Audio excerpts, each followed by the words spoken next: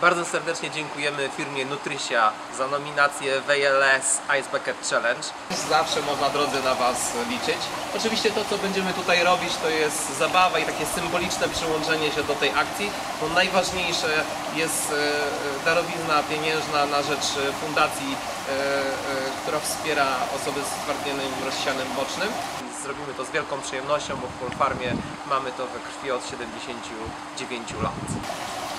Well, actually, I think this is a very good initiative. So, in a nutshell, I'm happy to be nominated, even though it's a pretty cold adventure.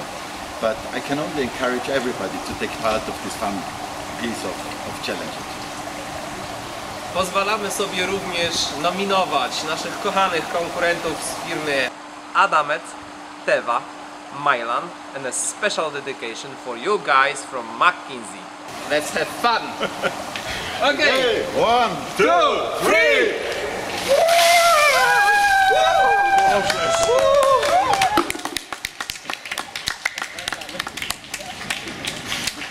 Mecenas, trzymaj się!